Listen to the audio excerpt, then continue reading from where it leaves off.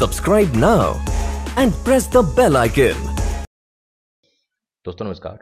हमारे YouTube channel L S technology education पर आपका स्वागत है। और दोस्तों, आइए आज फिर मैं लेकर आया हूँ आपके लिए एक स्केचअप का नया वीडियो जिसमें आज मैं बताऊँगा जो हमारी प्लगइन है प्लेस मेकर उसके बारे में मैं आज आपसे बात करूँगा। यहाँ पे अगर आप देख रहे हो यहाँ पे मेरे पास एक प्लगइन है प्लेस मेकर उसका काम क्या है वो मैं बता देता हूँ। पहले आप एक फ़ोटो देख लीजिए। यहाँ पे जैसे देखिए, आप इस फ़ोटो में देख रहे हैं यहाँ पे। ये जो डिज़ाइन है, ये क्या सैटेलाइट से फ़ोटो लिया था और उसका यहाँ पे थ्री व्यू कैसे जनरेट करते हैं प्लेस मेकर जो प्लगइन है उसके थ्रू, वो मैं आज आपको इस वीडियो में सिखाऊँगा। तो दोस्तों, अगर आपने हमारा चैनल अब तक सब्सक्राइब नहीं किया तो प्लीज़ आप इसको सब्सक्राइब कर लें।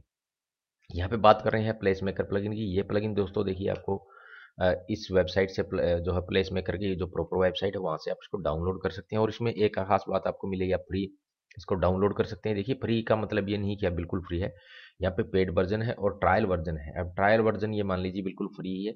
इसमें कहने की बात यह है कि नॉर्मली जो ट्रायल वर्जन होता है वो आपको पंद्रह से तीस दिन तक अवेलेबल होते हैं। यहाँ पे इसका जो ट्रायल वर्जन है वो छः महीने तक ये अवेलेबल आपको करवाते हैं।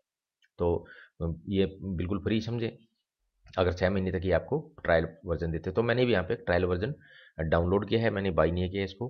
तो यहाँ पे करने के बाद वो आपको आपकी पूरी डिटेल लेते हैं, उसके बाद आपको एक डाउनलोड का लिंक देंगे आपके ईमेल पे, वहाँ से आप इसको डाउनलोड कर कर सकते हैं और साथ ही साथ एक कोड भी देंगे, वो कोड भी आप इसको डाउनलोड करके कॉपी कर करके नोट पैड में पेस्ट करके उसको रख लें ताकि अगली बार आप इसको यूज़ कर सकें।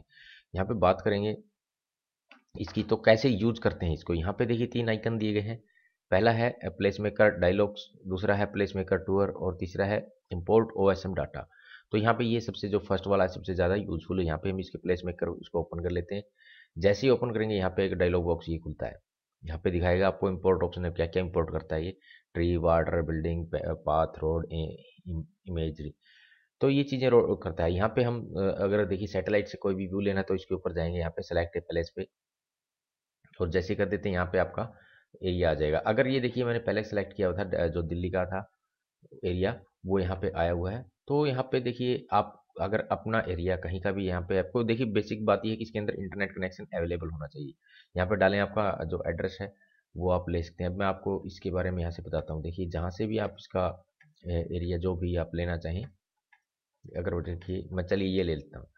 यहाँ से ये ये एरिया मेरा हो गया। अब मैं इसका थ्री व्यू देखना चाहता हूँ। तो यहाँ से देखिए एक बार इसको कैप्चर करेगा यहाँ से आपने क्या करना, सेलेक्ट एरिया कर कर लेना है। अब आपने इस एरिया को इम्पोर्ट एरिया कर देना है। जैसे ही आप इंपोर्ट करेंगे, यहाँ पे एक देखिए थ्री व्यू आपके पास जो है, एक टू पिक्चर आ जाएगी। यहाँ पे टू पिक्चर आने के बाद दोस्तों आपने क्या करना है? इस पिक्चर को सेलेक्ट करना जैसे इसकी बाउंड्री रेड हो जाए, इसका मतलब ये पिक्चर आपकी सेलेक्टेड है, देख सकते हैं आप। अभी इसका थ्री व्यू कैसे लेंगे? यहाँ पे हमने जो है टू टू एक पिक्चर ली सैटेलाइट से, और यहाँ पे हम क्या करेंगे? Map places import all except imagery तो यहाँ से इसको क्लिक करेंगे, और जैसे क्लिक करेंगे तो ये अपना काम शुरू कर देगा। और धीरे धीरे जो हमारी इमेज है वो थ्री में कन्वर्ट होनी शुरू हो जाएगी दोस्तों। ये देखिए यहाँ पे पाथ आ गए, हमारे रोड्स आ गए बिल्डिंग्स आ गई, देखिए। ये देखिए दोस्तों, हमारा जो व्यू था, ये देखिए इस तरीके का आपका आ जाएगा। ये होता है, आज की जो हमारी बिल्डिंग है, जो हमारा सेटेलाइट से हमने लिया था तो अगर आप देखिए आपके पास अगर जो बढ़िया ग्राफिक्स वाला कंप्यूटर है तो और ज़्यादा इसको अच्छी तरह ये इसको शो कर पाएगा। तो चलिए आज के वीडियो में इतना ही। धन्यवाद दोस्तों।